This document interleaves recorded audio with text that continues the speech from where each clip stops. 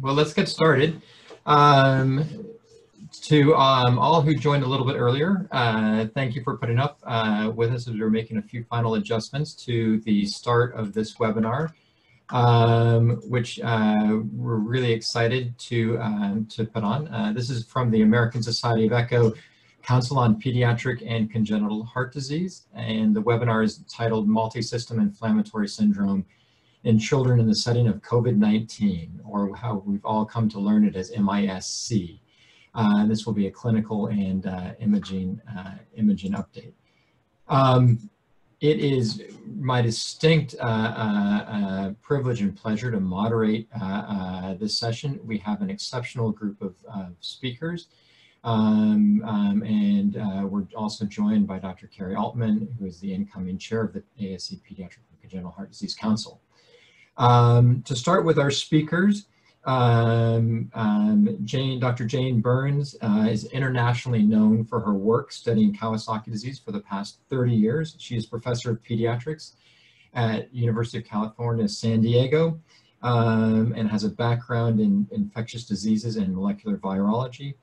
Uh, she's the director of the Kawasaki Disease Research Center at UCSD with support from NHLBI for a biorepository to better understand environmental triggers, genetic influences, molecular pathogenesis, and novel treatments for Kawasaki disease. Dr. Next is Dr. Nadine Choueiter. Uh, she is a professor, associate professor of pediatrics at Children's Hospital at Montefiore and the Albert Einstein College of Medicine. Uh, she has uh, been working in New York City throughout uh, uh, the uh, intense epidemic of COVID-19 there, and we'll have bring that unique experience to this webinar. She also directs the cardiac non-invasive imaging program at Montefiore and co-leads the Kawasaki disease program and is leading the multi-system inflammatory syndrome in children uh, uh, effort at Children's Hospital at Montefiore. Kevin Friedman is Associate Professor of Pediatrics at Harvard Medical School and Boston Children's Hospital. Uh, he specializes in cardiac imaging from the fetus through the adult, and he has particular expertise in the diagnosis and management of, of Kawasaki disease, including long-term management of Kawasaki disease patients with coronary artery aneurysms.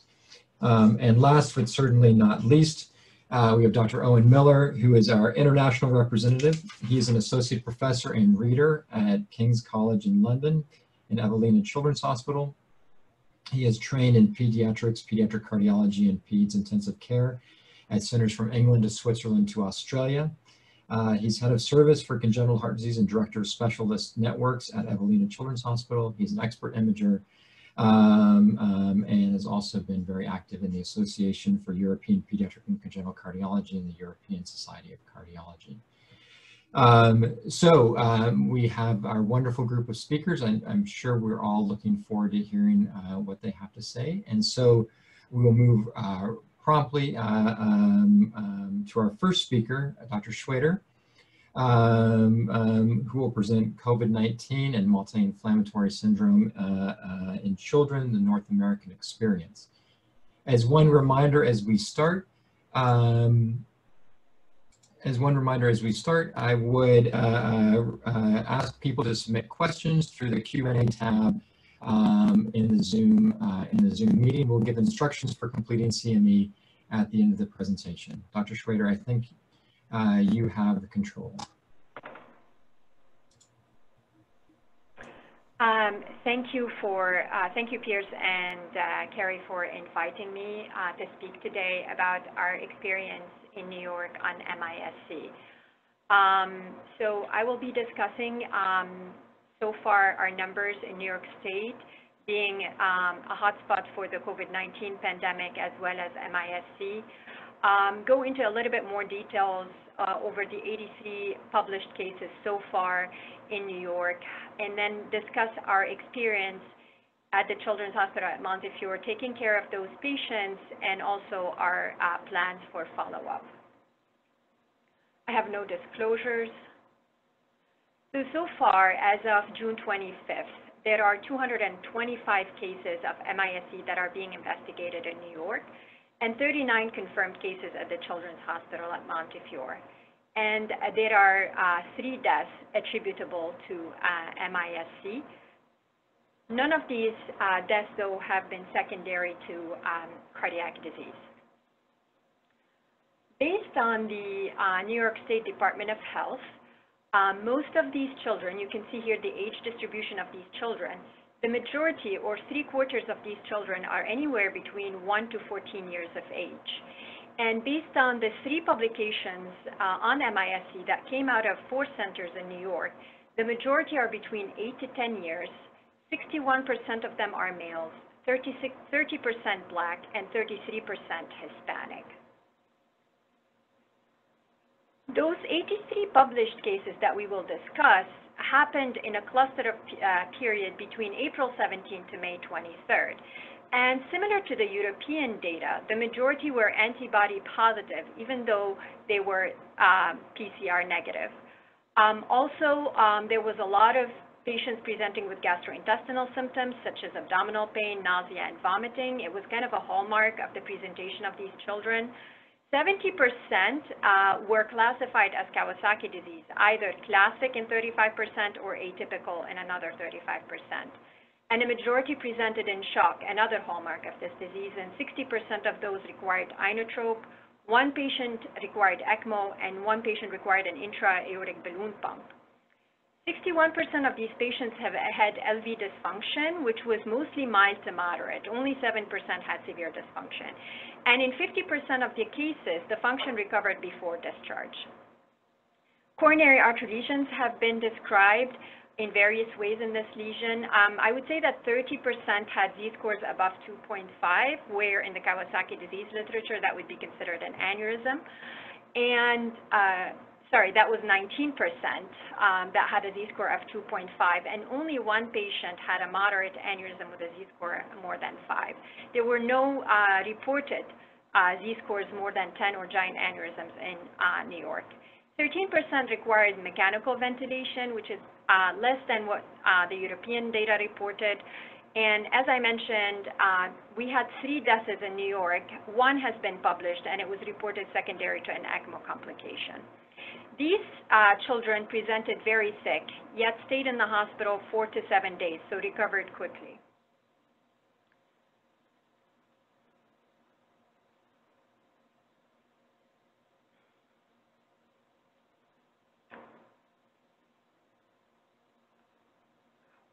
They had elevated inflammatory markers and more importantly, they had elevated cardiac enzymes, troponins and proBNP. Their platelets were um, low to normal.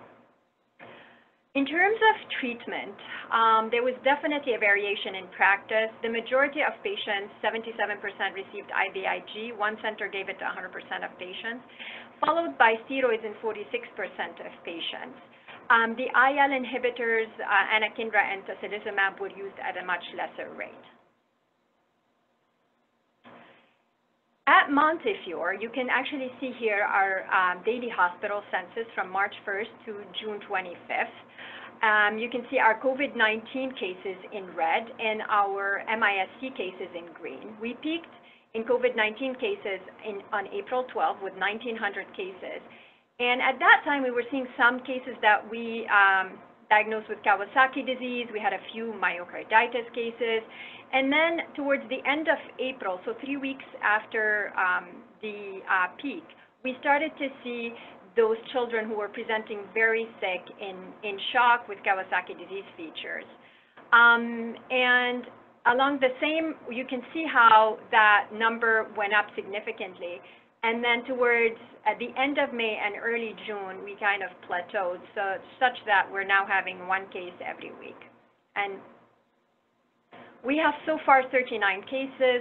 Their clinical uh, data and demographics are very similar to the um, published data within New York uh, in terms of the uh, majority having gastrointestinal symptoms and 50% of them presenting in shock.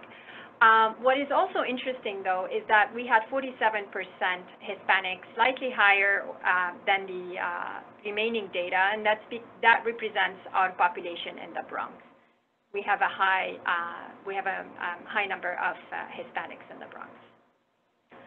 We were able to, when we looked at our cases, we were able to categorize them into four major categories. Three of those categories were either at risk or had cardiac involvement. And these were uh, those that were fit criteria for Kawasaki disease, those that had acute myocardial injury defined by ventricular dysfunction and increased cardiac enzymes, and those who presented in shock. You can see that there is major overlap based on these Venn diagrams between those three major categories, such as five patients presented in shock, fit criteria for Kawasaki disease, and had left ventricular dysfunction. The fourth category were those patients who presented with gastrointestinal or neurologic symptoms and had no cardiac involvement at all.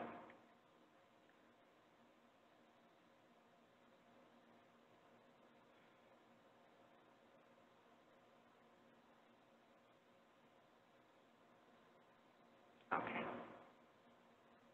So when we looked at their um, laboratory data, which I'm, I will not go over right now, but essentially they definitely had similar to what's been described, increased inflammatory markers and increased cardiac enzymes. Looking at their um, echo data, we find that, again, um, we had close to um, 60% with left ventricular dysfunction. The majority were within the mild to moderate range. We also had right ventricular dysfunction in 8% of patients. We had one patient with severe MR, one with moderate TR, and one had a small pericardial effusion. We didn't have hemodynamically significant effusions. 13% of our patients presented with coronary artery lesions, and 8% presented with small aneurysms. We did not have moderate or large aneurysms.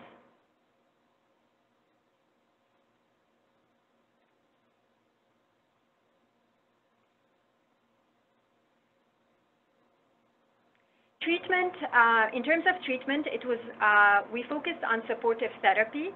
Um, and we gave IVIG to those who fit the criteria for Kawasaki disease, 38% of our patients. We gave steroids to those with CRPs above 10 or those whose CRPs doubled within 24 hours or those where we were escalating respiratory support or refractory shock. Uh, we gave methylpred over five days and we did not taper and that um, we gave it to 25% of our patients and 8% received IL-1 inhibitors. Um, so these patients stayed in the unit or the hospital around six days. 95% uh, of them had recovery of left ventricular function before discharge. The coronary artery uh, lesions that we found during admission um, recovered, uh, and that was anywhere between three days to two weeks. Uh, we had one patient who presented seven days at their um, se seven-day mark, um, developed uh, um, a moderately dilated uh, left anterior descending with a z-score of 3.2. Um, and that was a patient who presented with shock and no KD features. We had no deaths. Here you can actually see the uh, graph that represents the change in left ventricular ejection fraction in those who presented with or developed uh, left ventricular dysfunction within the first 24 hours of admission. So we had three patients who presented with normal function that quickly decompensated within 24 hours. And then in terms of recovery, the majority recovered by day 8, and we had two patients who recovered by day 18 or day 20 uh, from uh, either from uh, day 18 of hospitalization or at the time when we saw them in clinic. So at CHAM, um, those echoes are performed uh, following uh, our contact and droplet isolation um, requirements. You can see here our tech fully dressed with all the PPE. The machine board is covered. And we are doing echoes on those with elevated cardiac enzymes, those who are, we're suspecting KD or atypical KD, those with shock, with cardiomegaly on X-ray or changes on EKG.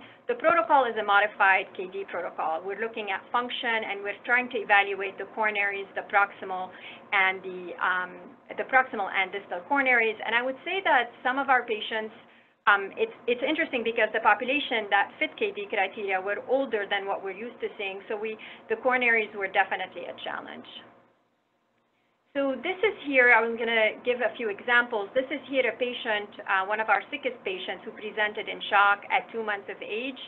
Um, and you can see his um, um, left ventricle, there's severe dysfunction. The EF is 29%. This patient was intubated, received uh, steroids, um, inotropes, and remdesivir uh, patient was PCR positive. And you can actually see here on the right-hand side, the function recovered completely by day 12. That same patient had severe MR on presentation. Um, the LV looked globular but was not um, dilated because we were concerned at the time for dilated cardiomyopathy. We weren't aware of the entity of MISC. What we also noticed is by day 28 that mitral valve regurgitation significantly improved. This is the nine-year-old patient in shock and left ventricular dysfunction that I uh, just described. This is on uh, day one. Um, so we're looking at the coronaries of all these patients. And what we saw is on day one, his left anterior descending Z-score was 1.5. By day seven, you can notice that just visually that it's dilated. The Z-score at that point was 3.2. And then by day 14, um, it decreased in size and the LAD um, Z-score came back, came back to 2, which is not something that we're used to seeing um, with Kawasaki disease.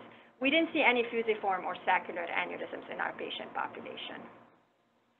So like all uh, programs, we have, um, we have devised our uh, guidelines for diagnosis and management of these patients. And what I really wanted to point out is our management was really tailored based on presentation. So that those in shock went to the ICU and predominantly got supportive therapy. If they fit KD uh, criteria based on the 2017 guidelines, they received IVIG. We gave steroids usually on a case-by-case -case basis, discussing that with uh, rheumatology. Um, and the remaining patients were on the floor with cardiology being consulted if there is any concern for increased enzymes, um, cardiomegaly on X-ray, or an abnormal EKG, and, um, and anticoagulation being managed by the Kawasaki disease team and the um, uh, hematology service.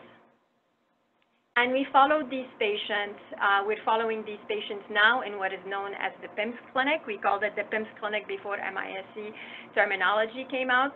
Um, and you, what you see is, again, we follow them based on their initial presentation and uh, whether there's residual disease before discharge. Essentially, what's in red is what cardiologists are seeing. So anybody who has decreased function, anybody who presented in shock or who has Kawasaki disease.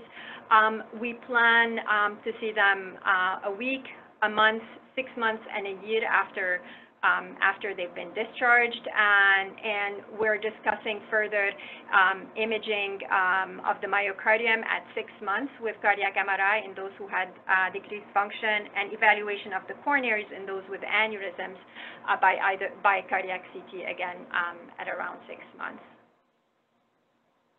We have seen so far um, 35 patients uh, after you know, after discharge, and all of them have normal function. Um, we have seen close to four of them one month post-discharge. Um, so far, all of them have normal function, and uh, we have not seen any fusiform or saccular aneurysms. Um, and the one patient I mentioned and discussed was the one who developed coronary artery uh, dilation um, after after discharge, um, and I and I described showing the images. Um, and that is mainly it. Thank you very much for listening.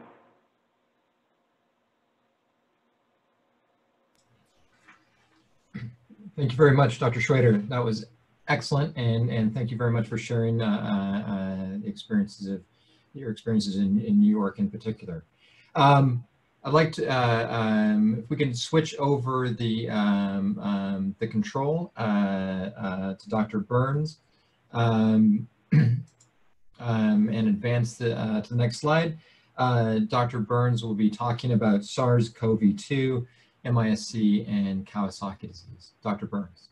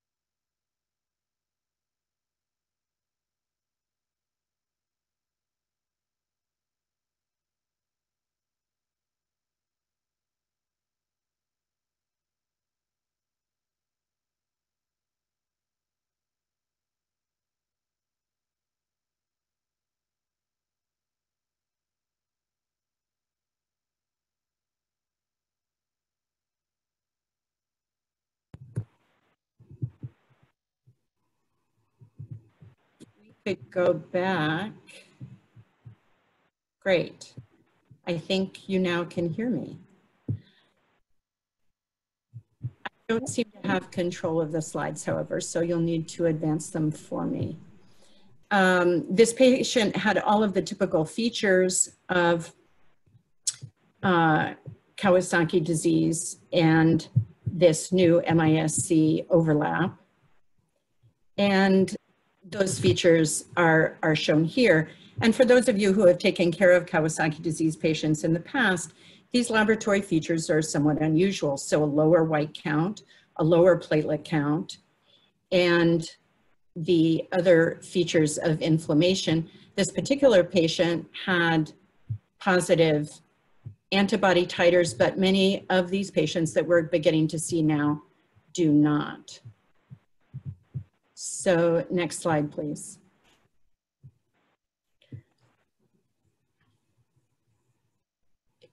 If you could go back to the slide. Sorry. Uh, the cardiac features in terms of echocardiography were that this patient had dilation of the left anterior descending. He responded very promptly to anti-inflammatory therapy, and although his fever initially resolved, he went on to require steroids to get control of his recurrent fever, and by echocardiography had very prompt resolution of his dilated left anterior descending. Next slide. These are some of the features of other patients who have presented in the spectrum of MISC. And clearly you recognize these as features that are typical of our previous Kawasaki disease population, including the strawberry tongue, the rash, the changes in the vermilion border of the lips, and the conjunctival injection. Next slide. In this comparison of MISC patients with the British nomenclature of PIMS-TS, we compared our population of Kawasaki disease patients from the prior era, as well as KD shock patients and patients with toxic shock. The features were in some ways similar and in other ways distinctly different. So I've just chosen a few of these. This is from a JAMA paper uh, from Liz Whittaker and the group at Imperial in collaboration with our group. And there are a lot of comparisons there, but I just pulled out some of the key features. We've already talked about how age is very different from our classic KD patients, although there's obviously a distribution of the age of KD patients that overlaps with these new MISC patients. Ferritin levels tend to be higher as an example of some of the inflammatory markers. Liver enzymes can be elevated in our KD population, and this was not particularly a feature of any of the MISC patients. D-dimer is elevated and can be elevated both in KD shock as well as our KD population. And of course, the white count can be both low and high. So features that are similar, features that are completely different, and a significant amount of overlap between these different groups. Next slide. I wanted to highlight some of the variables that are important in identifying these MISC patients and differentiating them from our Kawasaki patients. If you could hit the advance button, there you go. Um, the white count, the platelet count, and the serum sodium were notably different from a series of over a thousand Kawasaki disease patients from the previous era that we have in our database. So a white blood cell count less than 5,000, a platelet count less than 120,000, and a serum sodium less than 130 were characteristics that were distinctly rare in our previous Kawasaki disease population and were really a defining feature of these new MISC patients. Next slide. So there are different camps and the debate is raging as to what the meaning is of these clinical similarities and dissimilarities between Kawasaki disease and MIS-C. So on the one hand, there is the hypothesis that these are completely different discrete entities. They have different pathophysiology. There are ideas about superantigen response to portions of the spike protein on the SARS-CoV-2 virus. There are other hypotheses about how there are shared clinical features, but of course we know many different children can have rash and fever and red lips and it's not Kawasaki disease and it's not the same pathophysiology. On the other fork in the road, there are striking similarities between these children presenting with MIS-C and KD. And I think one of the most striking similarities is their response to, their rapid response to anti-inflammatory therapy. And because of the clinical similarity between KD and MIS-C, as we heard about in the New York series, they looked a little bit like strange Kawasaki disease patients, and so people reached for IVIG, the standard therapy for KD. And in fact, these patients responded to a great degree. Many needed additional anti-inflammatory therapy, but in fact, they were fairly easy to treat from an inflammation standpoint. So could MIS-C and KD share a common pathway, a pathophysiologic pathway, that is triggered by different antigens in hosts with different genetic susceptibilities. We can sit here and debate this fork in the road, but ultimately we're going to have to answer it at the molecular level. And I think keep an open mind about what the importance is of finding similarities or dissimilarities between these two conditions. And certainly in terms of treatment, it served us well to think of them as following a similar path. Next slide.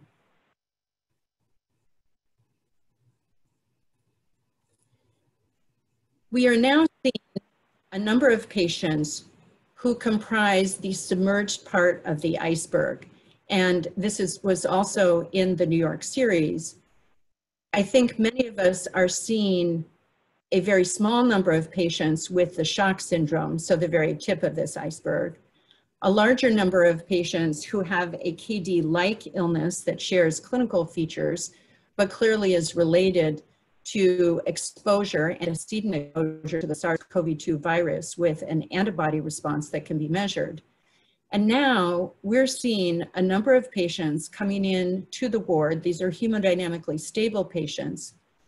They have very high inflammatory markers, nothing on their physical exam, and yet when we do an echo, despite the fact that they are hemodynamically stable, we are seeing changes suggestive of depressed left ventricular ejection fraction and uh, dilation of the coronary arteries.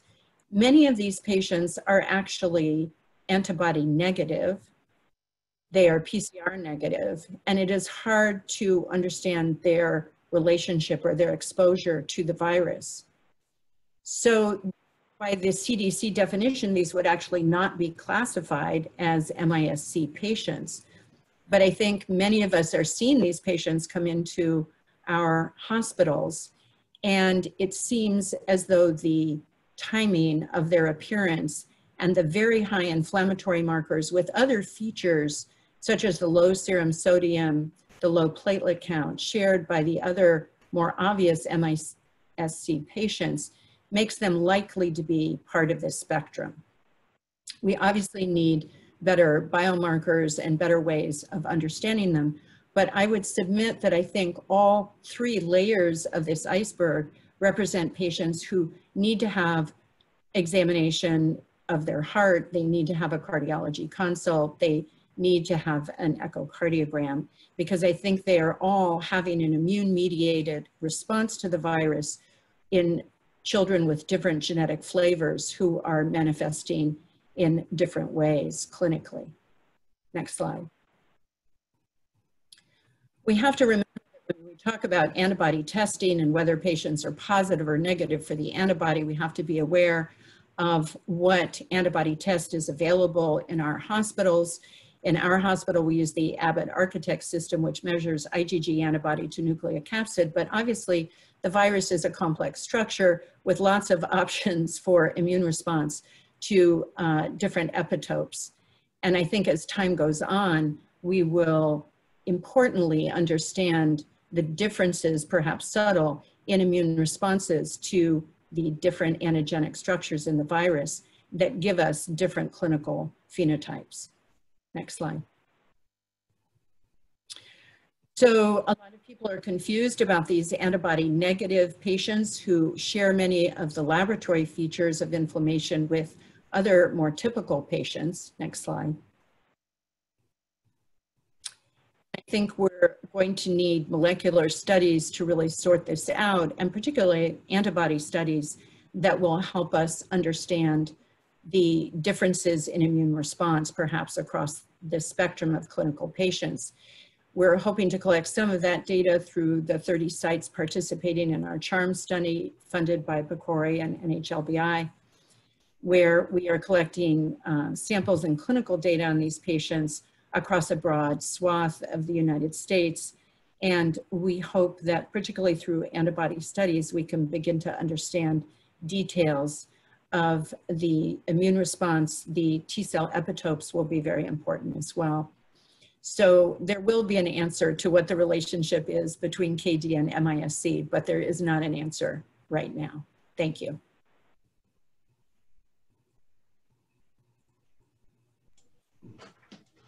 Excellent. Dr. Burns, thank you so much. That was also fantastic. Um, I'd like to transfer uh, control of the slides now over to uh, Dr. Miller uh, to talk about imaging strategy and findings in MISC and specifically the European experience. Dr. Miller.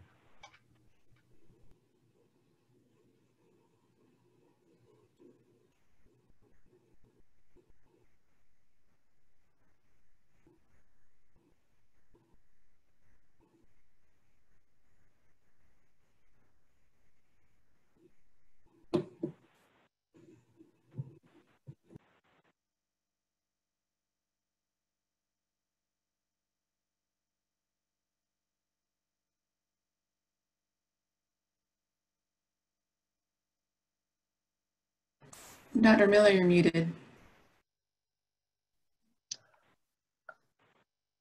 Okay. Apologies. I was just trying to get control of the slide. So thank you very much, uh, Piers, and to the ASE for the invitation. And um, uh, as I said in my first slide, this is not a cardiology problem. This is a multidisciplinary problem. And the first question is, is what is the diagnosis? And we've heard from the two previous speakers about the uh, differences uh, and also the similarities between some of these inflammatory conditions. We want to ask ourselves, is there hemodynamic stability? How can we measure it? And, and what's, the, what's the cause of it? What's the optimal therapy? And we've already heard there are lots of therapies available. And what sort of structured imaging strategy should we use? And importantly for us, as we uh, face this rapidly escalating new problem, we had to allocate assets and resources to manage the, the condition. So we did a fast track service reconfiguration. We separated out the congenital heart team from the MISC team, or the PIMS team as we called it. And the MISC team had cardiologists, echocardiographers, and nurse specialists and we work very closely with colleagues in uh, infectious diseases, immunology, rheumatology, and general pediatrics. And we stood up uh, three daily MDTs to discuss all of our patients. At one stage, we had up to 30 inpatients with this condition. Um, just to give you a flavour of our age distribution, you can see that this is different to Kawasaki. We have uh, older groups, the mean age is about 11 uh, more males than females. And in our population in London, we had a very large proportion, 60 to 70% from black, Asian and minority ethnic uh, groups. So this was out of proportion uh, to the uh, ethnicity distribution in the general population. We had a peak uh, of admissions in uh, late April and early May, and fortunately it's tailed off as we've come through uh, June. And we've seen about 80 patients in our hospital, and then other hospitals in London have seen uh, similar amounts. And so in London, I guess we've seen upwards of uh, 150 or 200 cases. The imaging strategy, uh, of course, depends on the presentation as we've heard. And so for those who uh, are critically ill and shocked, we uh, do an ECG and echo on admission, and then we do daily echoes on those PICU patients, and of course, biomarkers and inflammatory markers. Um, for the stable non-PICU patients, we'll do an admission echocardiogram, and then every two to three days, depending on clinical features. To give you a flavour, in our first 72 patients, we did nearly 500 echocardiograms, uh, 25 coronary CTs, and 25 cardiac MRIs. The uh, echo strategy uh, used both 2D, 3D deformation imaging, and we were looking at both systolic and diastolic function. Our CTs, we used either acutely if there was a rapidly changing coronary situation, or in the first uh, 25 or so, we did surveillance CTs at about two weeks, similarly with MRI. We saw a broad range of arrhythmias from uh, sinus bradycardia being the commonest. We had one patient with a uh, broad complex tachycardia and uh, two patients with STT wave changes. The biomarkers you've already heard about and we measured those uh, in all patients. So we had uh, two teams, and our MISC team went to a seven day working early starts, and we aimed to have an echo MDT at about 10 a.m., where we would review and read all the echoes uh, before attending the 11 a.m. MDT with uh, infectious diseases and immunology. Our echo protocol was similar to our Kawasaki, but we used um, advanced functional echo in all patients with uh, uh, 2D quantification, tissue Doppler, speckle tracking, and 3D echo uh, in all patients. Uh, we've seen this as a very similar slide to the one Nadine showed. This uh, shows that in many patients we have pericardial effusion. Uh, very few of them were hemodynamically significant uh, and mitral regurgitation was common initially and that faded towards discharge and in post, post-discharge follow-up. We had either prominent coronaries, as you can see here, with uh, tram tracking and uh, very clear coronary uh, uh, outlines, and we had coronary dilatation in the majority of patients, although many didn't uh, uh, reach a Z score of greater than 2 or 2.5. We did, however, see quite a few with abnormal Z scores and with coronary aneurysms. This is one case who developed clear uh, aneurysm of the LAD with a Z score of plus 10, uh, and that has persisted. But about 14% uh, in the Whittaker paper that we contributed to, which was the London experience, uh, uh, Liz reported 14% had dilated uh, coronaries. LV dysfunction was common at presentation and got worse in the first couple of days before usually responding.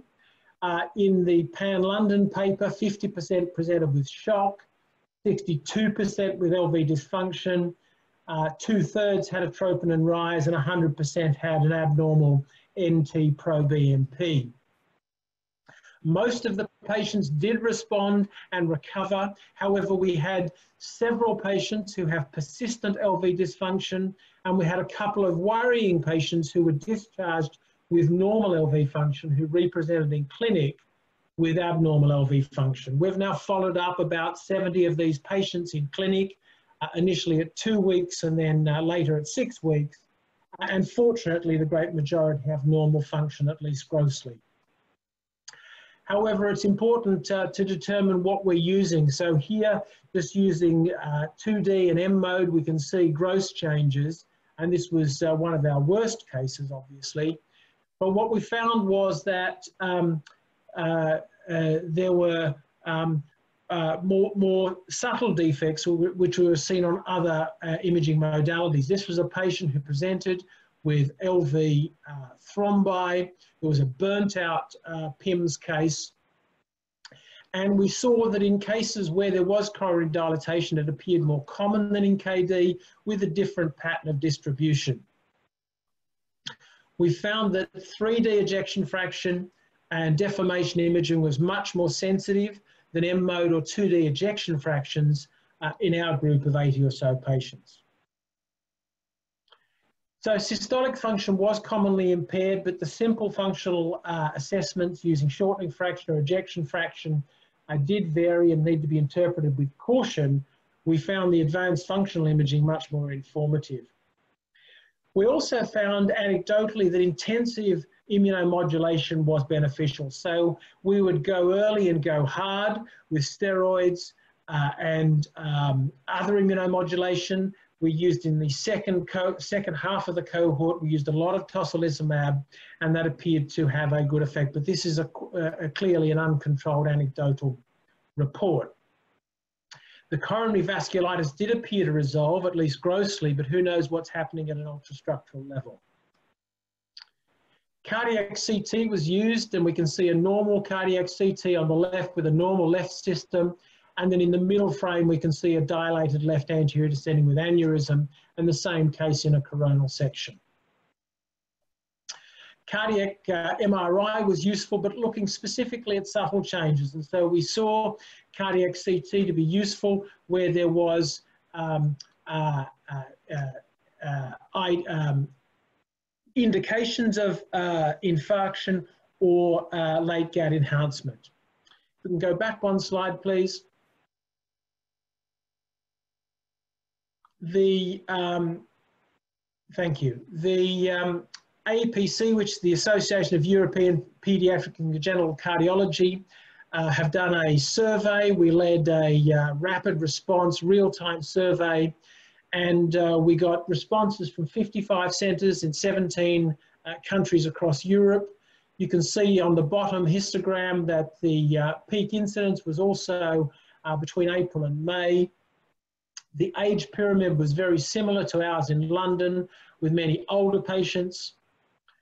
Uh, we had uh, more than 280 cases reported and LV dysfunction was reported in greater than 90% of cases, shock in 40% and arrhythmia in 35%. Only a minority had uh, cardiac CT or cardiac MRI, and so those data are of uh, uh, uh, limited value.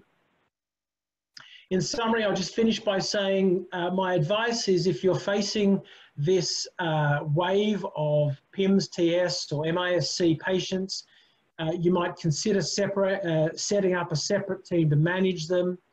Uh, look at your imaging protocol. Make sure you've got clear questions that you're asking your sonographer. Agree, for example, which Z scores you're using and all use the same ones. Uh, we've used the multimodality approach. We've found that very useful. MRI strain has been very sensitive. And we've had to set up, as Nadine has set up in New York, we've had to set up a specific uh, PIMS follow-up clinic for these patients. But we've used our previous experience in Kawasaki disease to guide uh, follow-up intervals. Thank you. Fantastic. Thank you very much, Dr. Miller um, that was that, that was that was great, and I think that's a, a, a, a perfect segue into our final uh, presenter, Dr. Friedman, um, who will speak about treatment and prognosis and, and uh, kind of next steps for multi-inflammatory syndrome in children. Dr. Friedman. Thank you for having me. Uh, Liz, if you could pass control of the slides, that'd be great. Uh, I have no disclosures. Uh, first, start with an overview of MISC treatment. This has been referred to a lot already in prior talks, so I'll go through it relatively fast. But I think that the primary modality of treatment is actually supportive care. As over 50%, in some cases as high as 80% of patients present in shock, careful fluid resuscitation and inotropic management is of utmost importance. A smaller percent of patients will require mechanical ventilation, and rarely ECMO is needed for circulatory support. The second mainstay of treatment has been immunomodulating medications, including IVIG, steroids, and to a lesser extent biologics, which I'll show in subsequent slides. A big question mark still in management is what to do about antiplatelet and anticoagulation therapy, which we'll cover. And then um, the last segment of management is, is direct antiviral medications, which has basically been shown not to be effective and are really not part of the therapy of MISC because these patients mostly are PCR negative and IgG positive indicating a history of disease, but not acute active viral infection. When we look at what's been done so far, this is the best data we have because there are no randomized trials or even comparative effectiveness trials yet. This is um, a, a, slide showing the, the um, major trials, a major series of more than 10 patients in MISC that have been published to date. And what you can see is that IVIG has been the most commonly used medication, um, used in about 75% of reported cases. But within case series, there's a wide practice variation with uh, about 50% to 100% of patients receiving IVIG as first-line therapy. Corticosteroids have been most commonly used as uh, adjunctive or second-line therapy. Um, but again, wide practice variation with about 50% of all patients globally receiving corticosteroids. And then about 10 to 30%, depending on the trial, receiving additional biologics. This would be things like interleukin 1 inhibitors, interleukin 6 inhibitors, or uh, TNF alpha blockers. Looking at the specific medications, um, most centers have used intravenous immunoglobulin as first-line therapy, given its effectiveness in KD and other vasculitises um, and myocarditis. People have used a dose of one, or, one gram to two grams uh, per kilogram mostly, although these patients, as several people have mentioned, are generally larger and bigger than our KD population. So we don't know exact dosing, especially for those patients who are 70, 80, 90 kilograms or bigger. Corticosteroids have been the second line therapy um, and used mainly in two scenarios. The first is in patients presenting with shock, um, where uh, providers have felt that IVIG is not alone is not sufficient anti-inflammatory therapy. And the second scenario is when uh, patients have received IVIG and have re recurrent or refractory symptoms. Dosing has varied. Most places have used one milligram per kilogram twice a day uh, dosing. Others have even used reported pulse dose steroids. Um, biologics like anakinra uh, and interleukin 6 uh, inhibitors, as well as uh, infliximab, which is a TNF alpha blocker, have also been used generally as adjunctive therapy in patients who either have cytokine storm, who are highly inflamed, or who do not respond to initial IVIG and steroids. As mentioned on the first slide, direct antiviral therapy like remdesivir, hydroxychloroquine, and convalescent plasma really doesn't play a role in MIS-C therapy.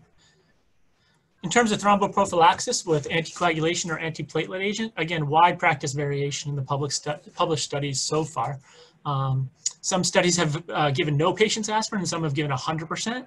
Um, but the majority of given majority of studies have given most patients aspirin uh, at an antiplatelet dosing. Heparin, um, uh, low molecular weight heparin has been even more variable, whether it's given um, pro prophylactic dosing, therapeutic dosing, or not at all has experienced shown wide practice variation anticoagulation is a big question mark. Um, we know these patients are at increased uh, risk for thrombosis because they're in a hypercoagulable state based on their labs showing very high D-dimers and fibrinogens in many patients, as well as thromboelastogram findings showing activated platelets, high clot strength. And lastly, due to the adult experience showing um, extensive throm uh, thrombus burden in, uh, in patients with COVID-19.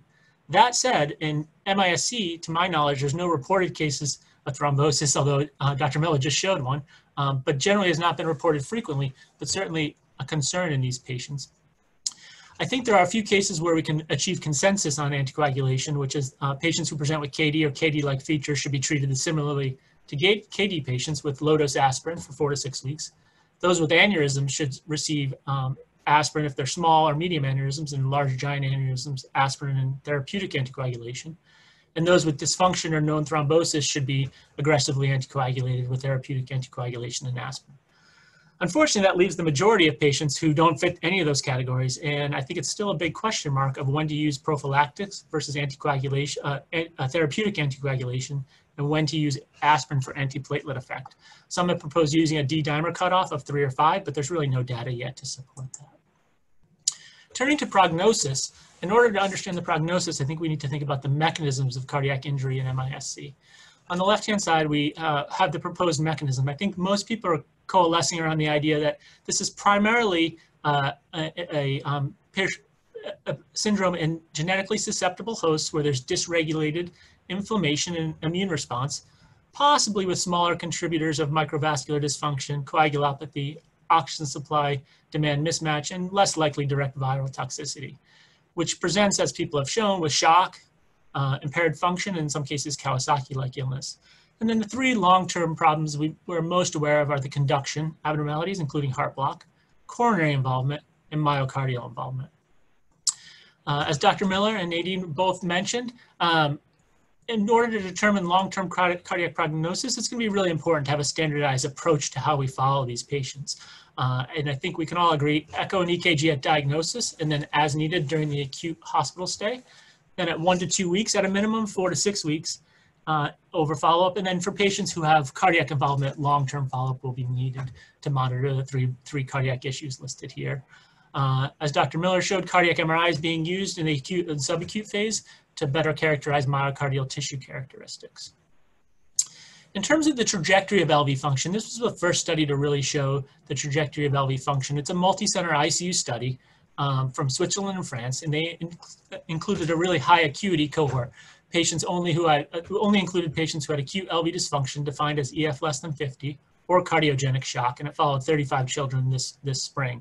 Again, very high acuity. A third of them had EF less than 30%, 80% were on inotropes, and 28% on ECMO. They all received IVIG, and a third received steroids. Um, when we look, this study uh, has several characteristic findings. The median age was 10, similar to other studies. Uh, gastrointestinal symptoms were really common. 80% presented in shock, again, a very high acuity cohort, and about 20% had coronary changes. The most important thing I took away from this study, though, is, is down here, which is that um, 71% of patients recovered within a week. So the, even though these were very sick kids, the vast majority of them recovered their LV function and did it quickly. In fact, the median time to recovery of LV function was two days. So most of these kids improved and they improved fast. Again, this is a, additional data from this um, study, again, showing very high acuity cohort with lots of inotropic needs, respiratory support, and even frequent VA ECMO. But again, no deaths and 71% recovered within a week uh, to normalized function two additional studies on LV function, both from New York that were mentioned earlier, and they both show similar things, which is that um, on presentation, acute LV dysfunction is fairly common, 61% in this study, all mild and to moderate in this study, uh, and that the vast majority either were always normal or improved to normal um, at discharge with a small percent who remained mildly depressed at discharge.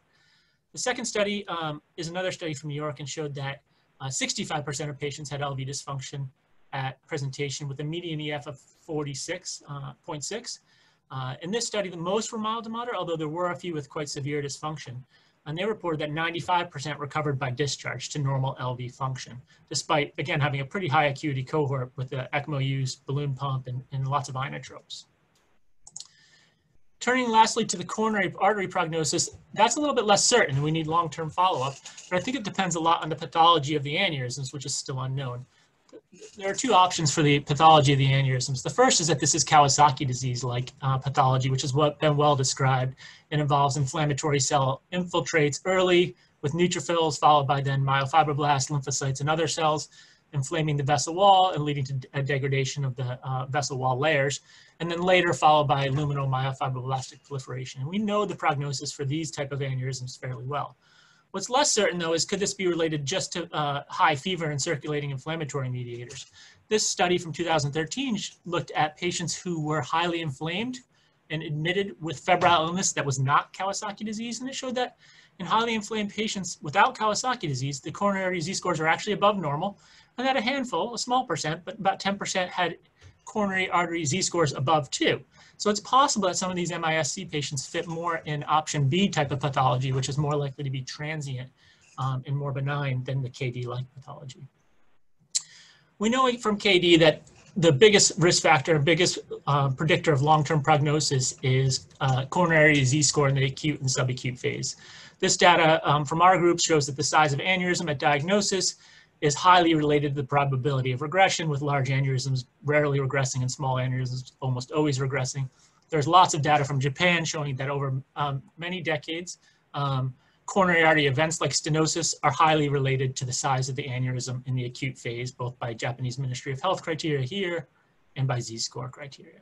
So I think for coronary artery aneurysm prognosis, we're really left following the AHA classification uh, and risk schema from the 2017 guidelines shown here, which is um, uh, classifies by both the acute involvement early in the disease course, um, which is the, the, the, primary number, and then the, the number after the decimal point is the current status. So classification one is uh, no involvement, two is dilation with z-score two to two and a half, three is a small aneurysm, two and a half to five, uh, four is a medium aneurysm, five to 10 z-score, and then greater than 10 um, or absolute dimension above eight is a, is a larger giant aneurysm class five.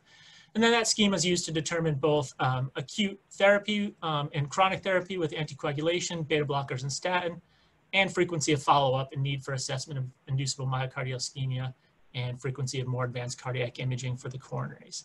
Um, so until we learn more, I think that's the best approach is to use the KD experience. And then as we learn more, we can tailor our approach to uh, this disease specifically. I'm gonna stop there and see what questions we can answer.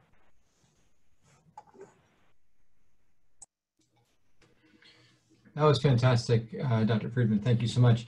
Um, we have about um, um, four minutes for for uh, uh, for questions, um, and and several have come in through the uh, through the Q and A app, which is fantastic. Um, I'm going to uh, uh, pose these to our our uh, panelists. Um, one is is is the question of rhythm disturbances was was briefly mentioned. Um, can our panelists exp expand on, on how common a, a, a, presenting sign that is or how likely that's to develop and long-term complications such as heart block? So in our... Uh, Piers, I'll start with that. Um, the APC Pan-European study found that 35% of children had some form of arrhythmia. Uh, very few of the arrhythmias were serious. What we've seen in our own population is Sinus bradycardia is common. Uh, a little bit of PR interval lengthening is common. Um, and then more serious arrhythmias are less common is our experience.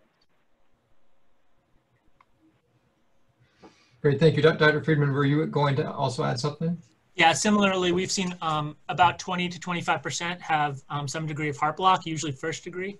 We've had two who've had um, high grade heart block, one third degree, and it, they got better with anti-inflammatory therapy. Um, but it, it, you can have progression to, to high grade heart block. Okay.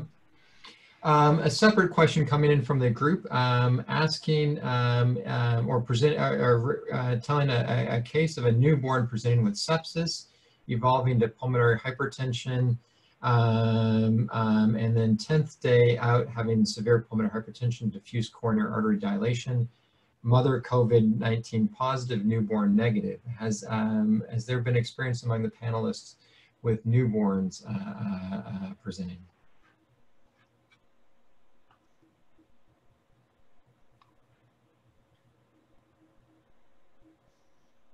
Not in our group. We haven't anything similar either. Well, clearly, uh, uh, um, clearly more to know. L let me uh, um, let me ask a, a, a, question of my own, and I, and I think this uh, um, probably highlights the need for our for the long-term follow-up uh, uh, for this disease.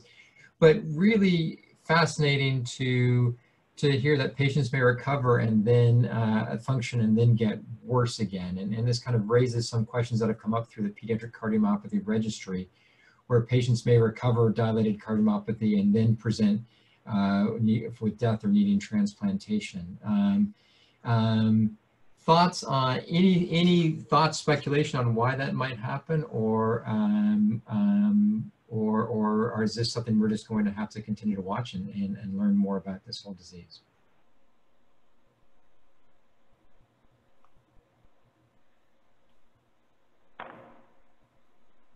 Well, Piers, um, uh, we've seen a handful of cases who have developed late LV dysfunction, and it wasn't clear looking back on whether their inflammatory markers or biomarkers or their course during uh, hospitalization was any different from the others. So I think it's early. It's too early to say. We have been surprised. We've had some with LV dysfunction, and we've had uh, also a case who came back with uh, development of aneurysms. There's more a sort of a KD-like picture where they, they came a, a, couple of weeks afterwards. But the LV dysfunction group were, were surprising to us, and so we're, ju we're just trying to understand that still. This is Nadine. Um, the cases we have seen so far, we've seen half of our patients, so maybe 18 up until that one month visit.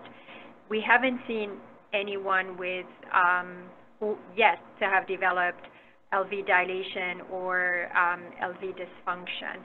But again, it's very early, too early to tell. Uh, that's why we're planning to continue following them up. Well, clearly, we are not out of the pandemic by any means yet, um, and clearly a lot for us to continue to work on to know, to understand, uh, both for our patients and to better care for our patients. Um, that brings us up to two o'clock, uh, uh, uh, so time for us to, uh, to stop. I would like to thank all of our panelists for their uh, exceptional presentations and for being willing to share their knowledge with us this afternoon, this morning, this evening, uh, depending on where you are in the world. Um, um, and um, and I'd like to thank all the uh, uh, people who have logged in to to uh, listen in and participate in, the, in this in this webinar. We really hope that um, it has been useful information for you all. Um, we will uh, uh, um, collate all of the questions that have come in, any ones that we have not been able to answer this afternoon, um, and we'll send uh, uh, replies out to, uh, uh, to the audience. Um, and then lastly, uh, please note how to claim CME. Um, um, you should receive an email with these instructions as well. Um, so again, thank you um, very much to our panelists. Thank you to you all for attending. And thank you to the American Society of Echo, uh, Echocardiography uh, for sponsoring this webinar on behalf of the Council on Pediatric and Congenital Heart Disease. Thank you very much. I hope you all stay well and stay healthy.